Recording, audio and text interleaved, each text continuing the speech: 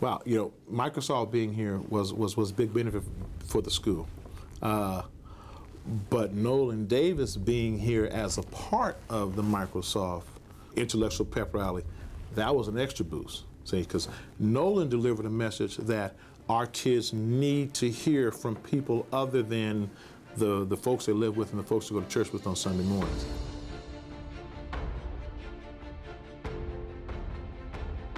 Now, today, what I'm going to talk to you about is a little bit about potential, right? Because everybody here is young, and we're going to talk a little bit about potential. But before we get to that, I want everybody to say, You will know my name on the count of three. One, two, three. You will know my name. The reason that I have you say that is because when you go into any aspect of life with that type of mentality, things come out different. I want you to keep that mentality at the forefront of your mind. Whatever you do, you are making a name for yourself. You are right now developing your brand. When the Microsoft company came, what I first learned out of it is they inspired me to do more, more than I can in life and, and go through obstacles and to reach my goal. And when Nolen talked to the kids about find your power and and and make your name known. And it was, it was a good point because, matter of fact, when, when he said that, I, I, I, it kind of kicked me. You know what?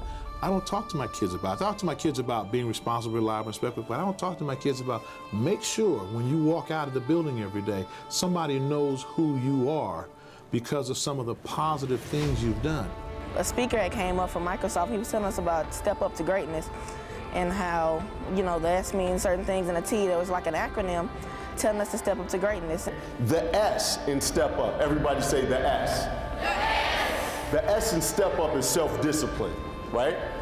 You can't get anywhere in life without hard work, without the work ethic, the self-discipline, the whole nine. Now the T is talent. Now, regardless if you believe me or not, and I'm gonna prove you wrong right now if you don't believe me, talent is like your superpower.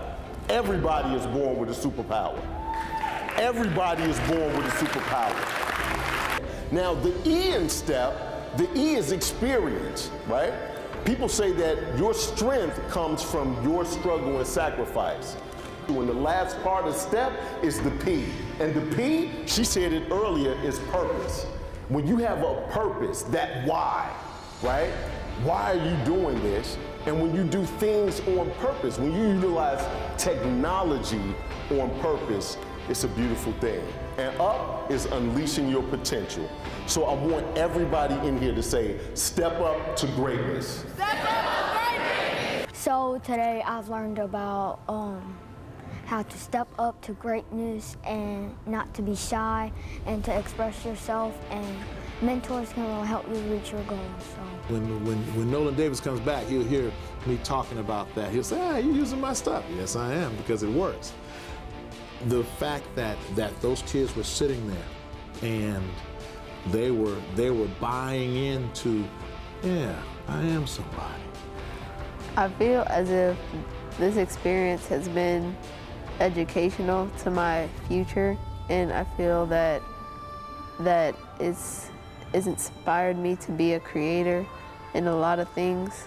And I've always wanted to create my own thing, and now that now that I've been told that I can, it it makes me it makes me think that it makes me know that I can create. If you're looking to inspire your kids, if you're looking to make a difference in your kids' outlook on life, maybe your school, maybe your church organization, maybe your youth group, you need to have Nolen Davis come and talk to your kids about stepping up to greatness.